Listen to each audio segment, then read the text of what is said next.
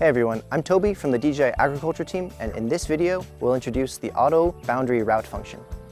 Normally, during spraying missions, as the drone approaches a field boundary, it'll automatically decrease its speed as a safety precaution. However, as speed decreases, spraying coverage will also shrink, resulting in unequal spraying coverage. To address this issue, we've introduced Auto Boundary Route, which saves spraying the field boundaries for the end of the mission. First, please generate or select an existing field, click Use, and select Auto Boundary Route. You can set the flight direction as clockwise or counterclockwise. The red line added is the boundary flight route. Close to the boundary, the white part of the routes are where the drone will slow down or speed up, and the spraying system will turn off to avoid repeated spraying.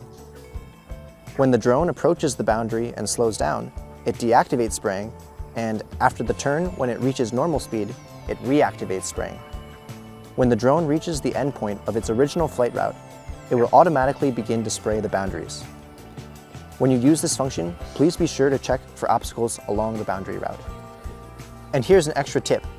You can combine this function with the route segmentation function to do a boundary-only spraying mission, for example, for fence line spraying. We hope this introduction to auto boundary route has been helpful. Thanks for watching.